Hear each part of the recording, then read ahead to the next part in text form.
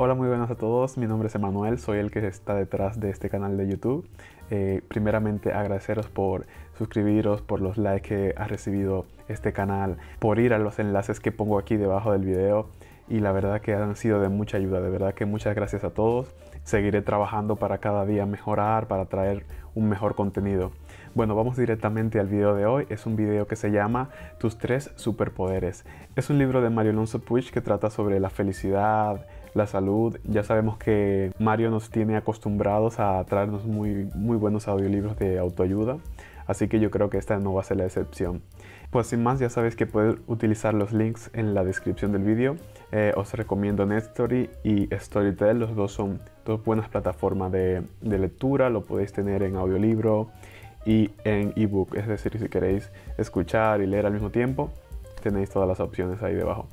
Y bueno, como dice el título y el nombre de este canal, son audiolibros gratis. Cuando comencéis la suscripción en cualquiera de esos dos, tanto NetStory como Storytel, tenéis 30 días para leer, para escuchar, para disfrutar de todos los audiolibros. Si luego de los 30 días queréis seguir con la suscripción, pues mira, eh, seguid porque seguramente disfrutaréis bastante.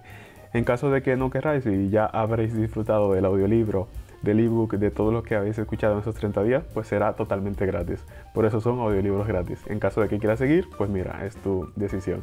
Bueno, muchísimas gracias. Recuerda compartir si a alguien le puede gustar este, este vídeo. Y ahora mismo eh, vamos a dar paso a, a, un poco, un pequeño resumen de lo que es eh, el audiolibro. Muchas gracias.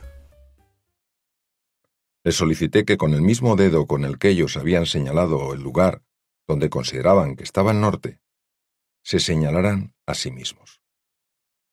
La conferencia que me habían pedido impartir era acerca de la felicidad. Y yo, con aquel ejercicio, lo que buscaba era llamar la atención sobre dos elementos que considero esenciales. Uno de ellos es nuestra disparidad de criterios a la hora de determinar dónde está la felicidad. Para algunos, la felicidad está en la posesión de una serie de elementos materiales como pueden ser dinero, coches, casas, etc. Para otros, está en alcanzar un determinado estatus que nos aporte poder, relevancia e incluso fama. Hay quienes piensan que serán felices cuando encuentren a la mujer o al hombre de sus sueños, o cuando tengan la familia perfecta.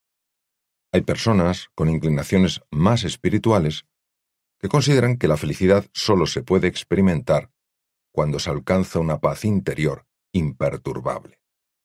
También están los que creen que la felicidad no se puede encontrar en este mundo, y por eso buscarla en esta vida es perseguir una gran utopía. Lo mismo que el norte está donde está, independientemente de donde nosotros pensemos que se encuentra. La felicidad está donde está, nos parezca o no el sitio correcto. Si queremos llegar a experimentar eso tan aparentemente escurridizo que conocemos como felicidad, tendremos que tener una referencia clara de hacia dónde hemos de enfocar nuestra atención, hacia dónde señalar con nuestro dedo. El segundo tema que me parece muy interesante es hacia dónde apuntaron los asistentes de la conferencia en Ixtapa cuando les pedí que se señalasen a sí mismos. La mayoría de ellos apuntaron a sus cabezas. El resto, al menos en lo que yo podía ver desde donde estaba, señalaron la región de su corazón. Como la mayor parte de los sentidos vista, oído, olfato, gusto están situados en la cabeza, tendemos a pensar que la cabeza es el asiento de nuestra identidad, de quiénes somos. Otras personas se identifican más con el sentir, con la experiencia interna o qualia, como se la denominan los círculos más científicos. Como el observador afecta al observado y no vemos tan solo el mundo que es, sino también el que somos, es importante indagar en estos aspectos profundos de nuestras vidas. Quien se identifica únicamente con su razón será incapaz de percibir a aquellos aspectos más sutiles de la realidad y que sólo son accesibles a la sabiduría del corazón. Quien se identifica tan solo con su corazón tal vez encuentre más difícil moverse de una forma práctica y efectiva en este mundo material en el que se desenvuelve la vida. Por eso no es un tema intrascendente el plantearse desde dónde miramos, y si hay formas de mirar que nos ayuden a tener una nueva percepción de nosotros mismos, de los demás y del mundo. Quizás sea cierta la frase, cuando cambias la forma de ver las cosas, las mismas cosas cambian. En este audiolibro vamos a explorar tres tipos de superpoderes. El que emana del corazón, el que emerge de la cabeza y el que surge de las manos. El superpoder del corazón nos da esa inspiración, esa energía que necesitamos para avanzar de manera verdaderamente comprometida y entusiasta en nuestro viaje de aventura y descubrimiento.